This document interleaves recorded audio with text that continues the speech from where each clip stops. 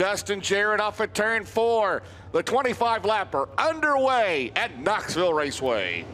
They fire in that Nutrien Solution starting zone. Chad Simpson and Jonathan Davenport lead them into turns one and two. And you see Simpson bobble just a little bit. Davenport out front at 49.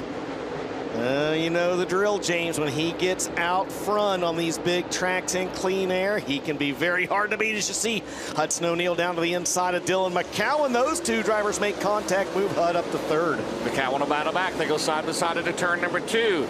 As an issue for O'Neal, gets out of shape, gets back around McCowan down the back straightaway. Davenport opening up a lead here.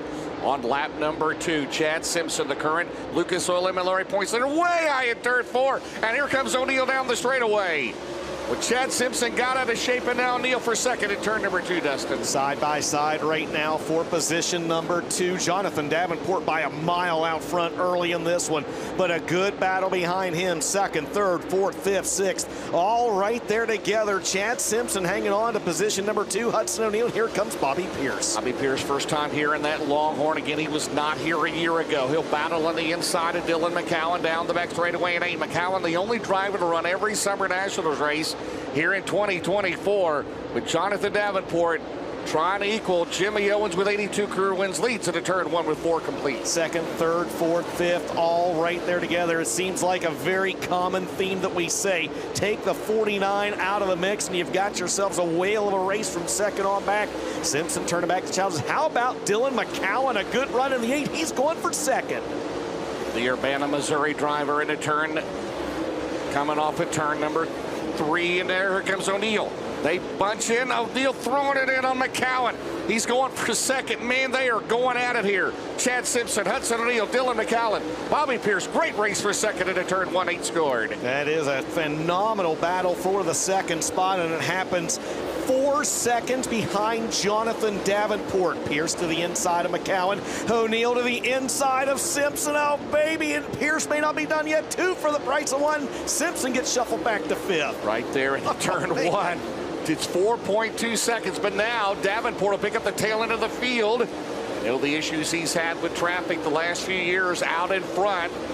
Off at turn four. The advantage again last time was 4.219. This time at the loop line is 3.6. They have taken nearly a second and a half off Davenport's advantage, James, in the last three laps. Well, the last race you and I did at Eldora, we had a record eight lead changes during the World 100, and we got a car slowing off at turn number four off the pace. Right in front of your leader down the main straightaway is Daniel Hilsabeck as we stay green, and that'll cost Davenport and now here comes O'Neal and here comes Pierce. They got to get around Hilsabeck. Daniel Hilsabeck off the pace down the back straightaway, Dustin. He's going to try to nurse the 22 to the inside of the racetrack and out of harm's way. He's been able to make it to the inside of the speedway. We'll see if we stay under green flag race here. If we have our first Dave Warren Power Sports caution. Davenport stays out front now. The lead just 1.7 seconds over the battle for second on your screen between Hudson O'Neal and Bobby Pierce. 14 scored, 11 to go. Cowan fourth, Moran fifth, and it's McCready, Gustin, Chad Simpson has fallen back to eighth. Carson Ferguson, Max Blair runs in 11th. Oh, and we got an accident at turn oh. four. And somebody got in the back of the 99 of Boom Briggs, Matt Furman. And the first Dave Warren Power Sports caution on the racetrack, Dustin Jarrett. Max Blair 10th, the Nutrien Ag Solutions restart zone. 11 to go on a Thursday night in Iowa. Boy, you saw the tail end of the 71 kind of whip around there. You thought maybe Hud didn't get as good of a restart as he wanted, but instead he does. He slides up the racetrack in front of Pierce to lay stake on that second spot. Pierce, though, going to try to get a run down the back straightaway. You see just how good that 49 is on these restarts. James, here comes Pierce down to the inside. He'll take second away from Hud oh, with man. 10 to go. What a year, what a move, 32 Bobby Pierce. It's eight tenths of a second. We still have 10 laps to go.